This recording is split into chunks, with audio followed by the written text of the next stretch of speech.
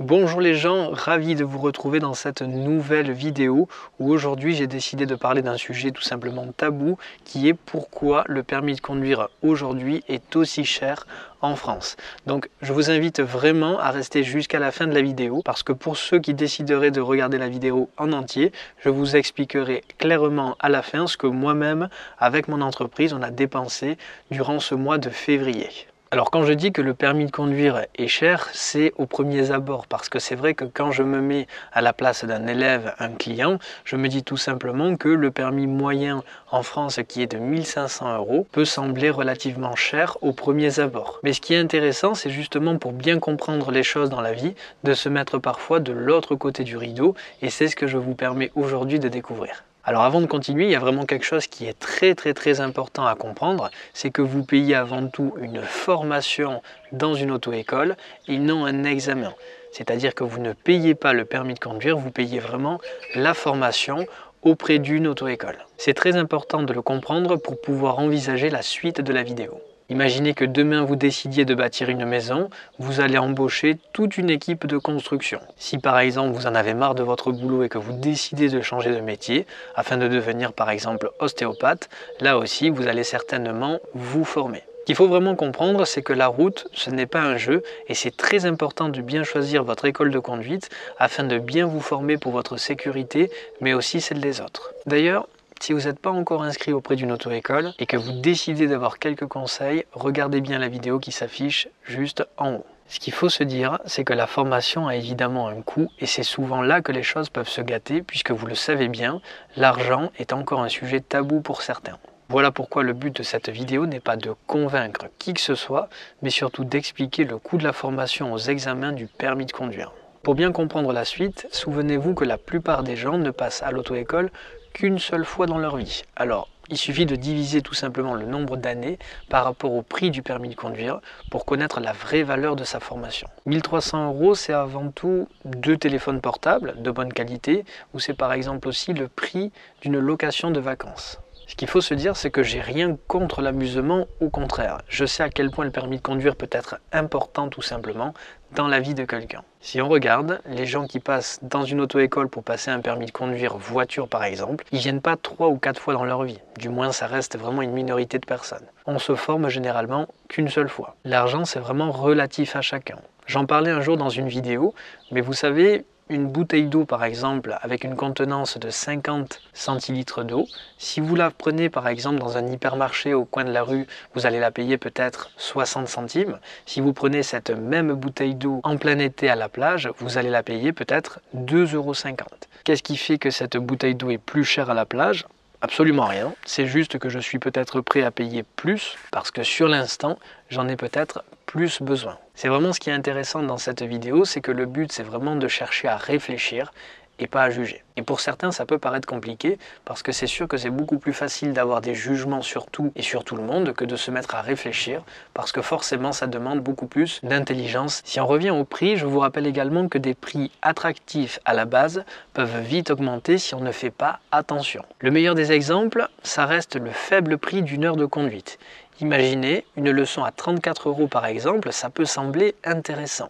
Mais s'il nous en faut 45 au final, la note passe tout de suite à 1530 euros uniquement d'heures de conduite. Ça veut dire que là où je pensais finalement faire des économies, je me retrouve à payer bien plus que ce qui était envisageable. Une leçon pas chère n'est pas forcément mauvaise et vice-versa. Le meilleur choix reste l'avis des anciens clients. Ce qui compte avant tout, c'est surtout la qualité de l'enseignement et la motivation qu'il y aura entre le maillon auto-école Vous pouvez payer une leçon de conduite 50 euros, mais peut-être que vous en aurez besoin seulement de 20 parce que vous, comme votre moniteur, allez être vraiment impliqué. Surtout, ne tentez pas de passer l'examen du permis de conduire le plus vite possible.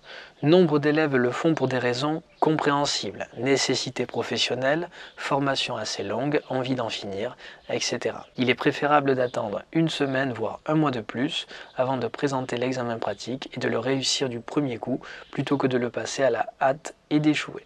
Je vais vous montrer quelque chose.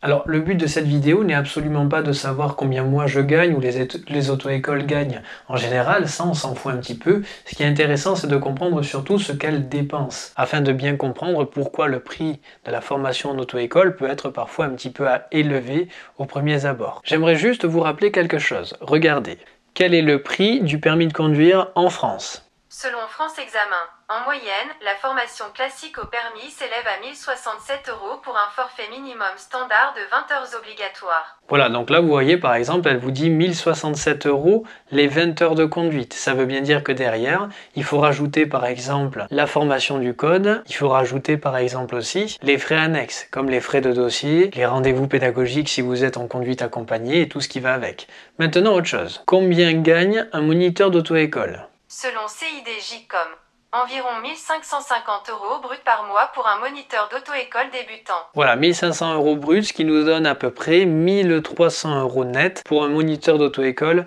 débutant. Là aussi, ça va dépendre bah, si vous avez de l'expérience ou pas, si vous faites que de la voiture ou voiture, moto, bateau par exemple, et de là où vous vous trouvez. Dans une grande ville, vous gagnerez certainement mieux votre vie, en sachant aussi que vous aurez certainement une qualité de vie beaucoup plus chère. Le problème, c'est que la plupart des élèves sont des étudiants qui ne gagnent pas encore leur vie. Alors, certes, c'est un budget, mais c'est aussi un investissement à vie. Il faut savoir que le prix du permis de conduire, c'est la seule formation à payer une TVA à 20%.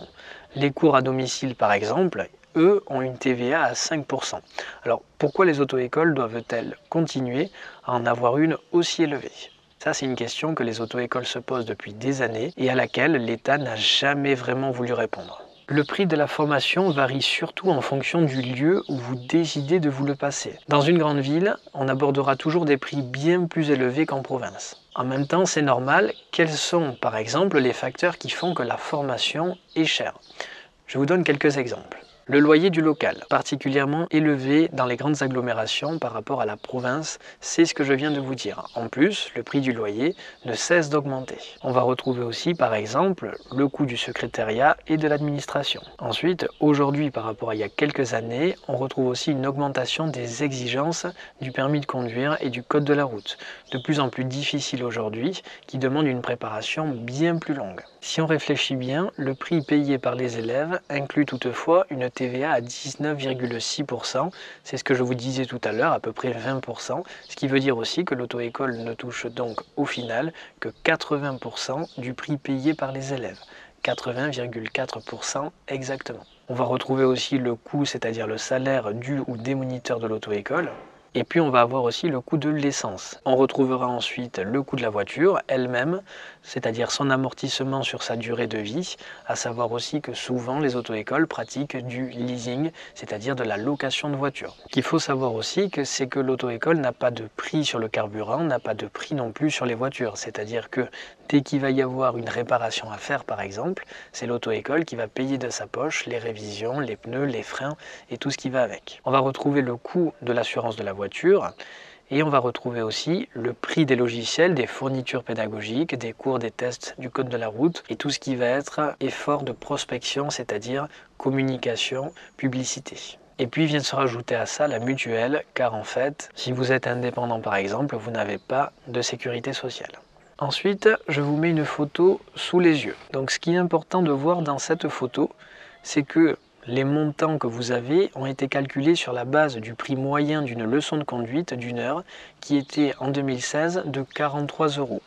Le coût horaire du formateur ne prend pas en compte la réalisation éventuelle d'heures supplémentaires payées davantage. Alors, la source de ce graphique, c'est tout simplement le site Je me suis permis de le reprendre parce que je le trouve tout à fait intéressant. Attention à quelque chose. On traite ici de la marge sur coût variable qui tient compte du coût du véhicule, de l'essence et du salaire du formateur, à ne pas confondre surtout avec la marge finale, toute charge déduite qui tient compte, elle, également des frais fixes, c'est-à-dire du loyer du local, du salaire de la secrétaire, du gérant, ainsi que de l'ensemble des frais de structure. Et nous sommes d'accord sur un point, comme on l'écrit, au final la rentabilité moyenne d'une auto-école est de 4,3%.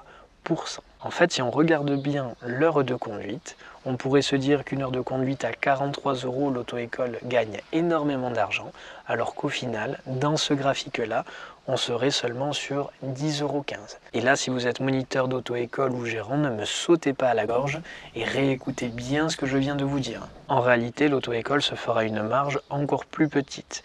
Moi, personnellement, ce que j'aimerais bien rajouter là-dessus, c'est que quand je prends par exemple euh, mon mécanicien que je vois plusieurs fois par an, quand j'amène ma voiture au garage pour faire une révision, quand je regarde par exemple pour changer des pneus et tout ce qui va avec, quand il change par exemple mes deux pneus à l'avant, que je dois changer.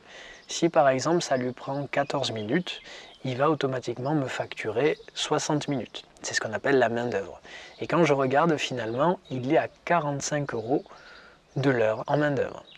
Je ne suis pas en train d'aller le voir en lui disant oui mais finalement tu me fais payer 45 euros alors que honnêtement ça te prend 15 minutes parce que tu as l'habitude etc. Non, on me met un devis sous les yeux et à moi client de décider si oui ou non je vais l'accepter ou le refuser. Donc c'est là où justement le prix nécessite quand même une réelle réflexion. Je vous mets là aussi deux trois photos intéressantes, toujours avec la même source que j'ai trouvée. Ou par exemple ici, on va avoir la fourchette de prix du forfait 20 heures en moyenne. Donc en moyenne, on est à 1155 euros les 20 heures de conduite, le minimum se trouvant à Lille à 700 euros et le plus haut évidemment à Paris à 1425 euros. Si on prend une moyenne fourchette de prix d'une heure de conduite, en moyenne c'est 43 euros en France, le minimum 35 euros constaté Quant au maximum, on est à 65 euros l'heure de conduite. Dans les deux graphiques ci-dessus, je me suis tout simplement amusé à comparer un prix de 1300 euros en moyenne en France. Si par exemple j'applique aujourd'hui la TVA qui s'applique dans les auto-écoles de 20%, on retrouve sur un permis à 1300 euros que vous payez vous, élève, c'est-à-dire client, vous payez en fait 1083 euros 33 centimes. Pourquoi? Parce que la TVA, c'est-à-dire l'État, se prend tout simplement 216 euros 67. La demande des auto-écoles, qui ne se fera probablement jamais, c'est tout simplement de mettre la TVA aujourd'hui à 5%. Si jamais on faisait ça, sur un permis à 1300 euros, l'auto-école embauchera 1232,23 euros, gagnera mieux sa vie et la TVA pour le client tombera à 67,77 euros.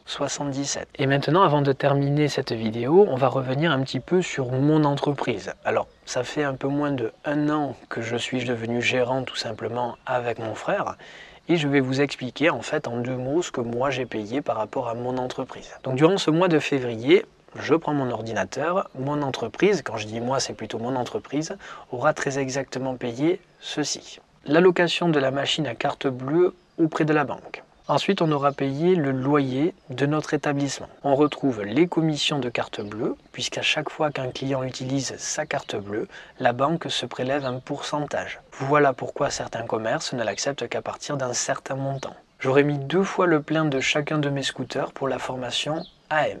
J'aurais mis 14 fois le plein de mes véhicules professionnels. J'ai 4 voitures, j'ai tout simplement mis 14 fois le plein de mes véhicules. Ensuite, j'ai mis 4 fois le plein de mes motos. J'ai payé trois fois mes cotisations auprès de l'URSSAF, puisque dès que vous êtes en profession libérale, vous cotisez auprès de l'URSSAF. C'est tout simplement une obligation. Ensuite, j'ai payé la location de mes quatre véhicules, puisque souvent les auto-écoles, je vous le disais tout à l'heure, louent les voitures et ne les achètent pas, tout simplement parce qu'on fait beaucoup trop de kilomètres en peu de temps, et puis on les abîme aussi la plupart du temps. Ensuite, je me suis également versé mon propre salaire. Ensuite, on a payé la facture téléphonique du téléphone fixe de l'auto-école. On a payé ma propre mutuelle et celle aussi de mon co-gérant, puisque je ne sais pas si vous le savez, mais quand on est patron, du moins en profession libérale, on n'a plus de sécurité sociale. Il faut donc pour ça cotiser auprès de l'URSSAF. Ça veut dire que si je ne le fais pas et que demain je tombe malade, je dois tout payer à mes frais. Ensuite, on a payé des frais à la poste concernant les timbres et les enveloppes. On a payé l'assurance du local ainsi que de chaque véhicule. On a bien évidemment aussi payé la facture d'eau. On a réglé la facture du téléphone mobile de la société. On nous a prélevé de cotisations fréquence professionnelle, c'est-à-dire que la banque, chaque mois, se prélève quelque chose tout simplement pour la gestion du compte professionnel. Ensuite, on a acheté un peu de mobilier, donc quelques tables, quelques chaises, puisque j'avais besoin de tables pour mes stages de code. Alors, effectivement, ça, c'est pas tous les mois. J'ai versé le salaire de ma secrétaire qui elle aussi fait du bon boulot. J'ai payé le salaire de mon autre moniteur puisque nous sommes quatre dans l'entreprise deux co-gérants, deux salariés. J'ai eu un prélèvement pour payer mon comptable qui s'occupe de toute la gestion comptabilité de l'entreprise. J'ai payé des impôts sur les sociétés puisque comme chaque individu par exemple paye une taxe d'habitation, eh bien chaque établissement doit également payer un impôt sur la société. J'ai eu un autre impôt à payer, c'est-à-dire un deuxième, qu'on appelle aussi impôt sur le revenu, cette fois-ci. Parfois, on va avoir aussi d'autres frais à payer, comme par exemple la taxe d'apprentissage, en sachant aussi qu'on n'a pas le droit d'avoir d'apprenti. C'est ça qui est un petit peu surprenant, mais ça, c'est pas mensualisé. On a d'autres taxes à payer aussi. J'ai payé l'électricité de mon local, j'ai versé le salaire cette fois-ci de mon co-gérant, et pour terminer, j'ai payé la TVA qui est prélevée en fonction du chiffre d'affaires, et pour finir, j'ai payé les deux mutuelles de mes employés. Voilà, donc comme je vous ai dit précédemment, le but de cette vidéo n'est pas de se plaindre, loin de là, mais plutôt d'expliquer à celui qui voudra l'entendre que oui, le prix de la formation en auto-école, ça a un coût, mais ne crois surtout pas que les auto-écoles roulent sur l'or, car si c'était le cas, comme je te le disais tout à l'heure, je pense qu'il y a des méthodes beaucoup plus simples et beaucoup plus efficaces pour gagner considérablement mieux sa vie que d'aller s'embêter à répéter tout simplement 45 fois par semaine les mêmes choses au même candidat. Je crois surtout que la plupart du temps, les moniteurs d'auto-école sont des personnes engagées, proches des gens, qui essayent en permanence de faire de leur mieux en ramassant les critiques de la presse et en passant la plupart du temps pour des voleurs. Alors oui, ça peut arriver de tomber sur des gens qui sont pas toujours très humains, pas toujours très sympathiques, pas toujours très efficaces, comme par exemple je vais choisir mon mécanicien qui lui aussi peut me rouler dans la farine sans le moindre problème. C'est important quand même dès le départ d'avoir un lien de confiance pour pouvoir évoluer le plus efficacement possible et dans les meilleures conditions. Si tu as aimé cette vidéo, n'hésite pas à la partager, à mettre un pouce bleu, ça me fait véritablement chaud au cœur. Sache une chose, c'est que je lis tous les commentaires, absolument tous les commentaires. Que je peux t'assurer, c'est qu'on se retrouve très vite dans une prochaine vidéo. A plus les gens.